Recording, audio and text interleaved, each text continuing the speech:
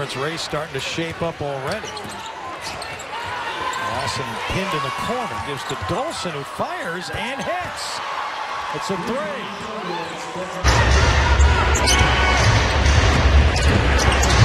Dolson. Oh, are you kidding? How'd that happen? 10 points, Stefanie Dolson. Going left, double.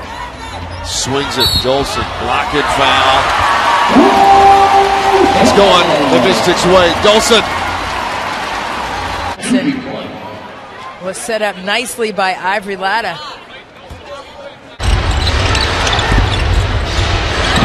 Down low Dolson. It's been a tough time for her, but what a big bucket for the Mystics. Dealing with the physicality. But Washington goes down low to her, and she responds with a huge bucket. Gives the Mystics a two point advantage. Led by Hill and Meesseman their leading scores at 16 points. And Dolson, Wow, with range and confidence. her second of the year. Once looking for help, may have to do it herself with three on the shot clock. Recognizes up and under. Yes! Off the glass. That was at the buzzer of the shot clock, so. Bounces inside to Dolson at the elbow left. Turns now, faces, squares up. Shot clock at one. Jumper good.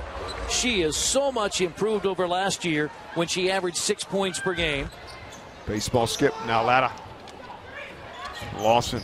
There's the slip. Dolson with athleticism. And scores it. She's in a double figures. Plays like this. Oh, Kara Lawson with the nice dime. And Jimmy Fallon, I don't know if you're ready for those kind of dance moves from Stefanie Dolson on the court. Ruffin Pratt looking down low. Dolson. Oh, good footwork there. Head fake. And I think we got a whistle on the floor. Is it plus one? Continuation for Stefanie Dolson. Seeing her put the ball on the ground the last two games now. Nice up and under.